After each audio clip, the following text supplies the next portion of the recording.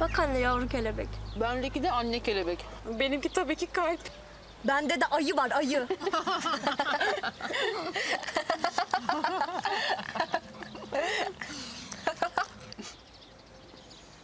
Ya kızlar, biliyorum her şey yolunda mı, iyi misiniz sorularını duymaktan sıkıldınız ama... ne yapacağım meslek hastalığı?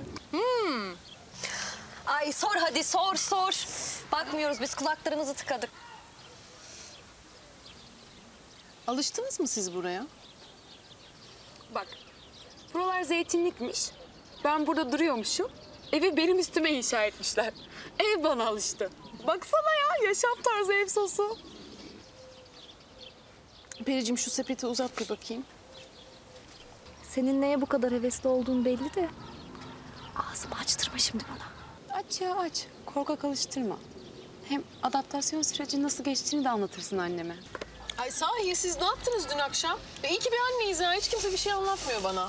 Anlatmak yok anneciğim. Soru yok, cevap da yok. Bundan sonra işim olmaz o insanlarla.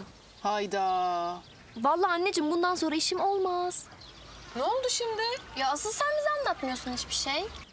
Ya ben ne anlatayım ki? Benim öyle hareketli bir hayatım yok. Ya ne hissettiğini merak ediyorum.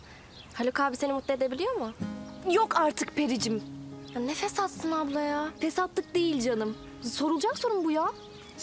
Siz iyi misiniz? Annem Haluk Mertoğlu ile evlendi. Ya onun yerinde olmak isteyen kadınları düşünsenize cinayet bile işlerler. Anneciğim herhalde mutlusundur değil mi? Mutluyum tabii kızlar.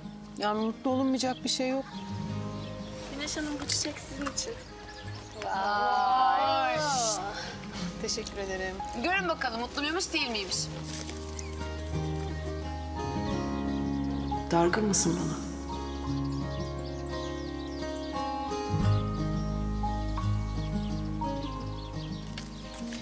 Kızlar istiyorsanız oturacaksanız yani ben daha oturabilirim sizinle. Vay Güneş Hanım.